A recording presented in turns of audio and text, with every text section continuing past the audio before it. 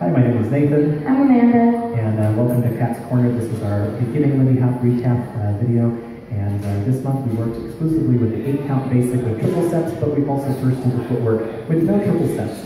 So we'll demonstrate that, and uh, maybe uh, Amanda will, without partnering, Amanda will give you the counts, and I'll give you the footwork. Yeah? Yeah, absolutely. So we go five, six, seven, and a step, step, step, hold, step, step, step, hold a one. One, two, three, four, five, seven, and one, two, three, four, five, six, And if we put the triple steps in, Triple step, five, six, seven, and one, two, triple step, step, step, triple step. and back, step, good.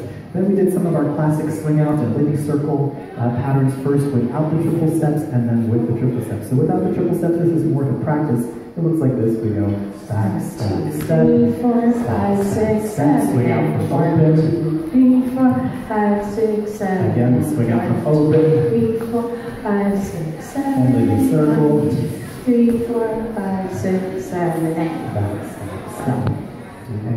And we put the triple steps into that same sequence, again, starting in the closed position, it looks like this. Six, seven, and a back step, triple step. five, six, seven, step, eight. step, step, triple step, step, Six, triple seven, step, and a back step, triple step, Lindy six, circle, seven, and one, two, three, four, five, six, seven, and back. Good. Now, when we're doing those swing outs in the middle, we can put some sprinkles on top and we can do things, uh, variations, like turns.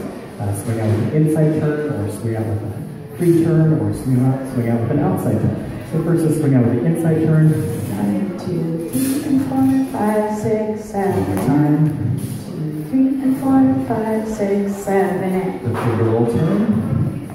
Turn, turn, triple step. One more time. Finger roll turn. Turn, turn, triple step.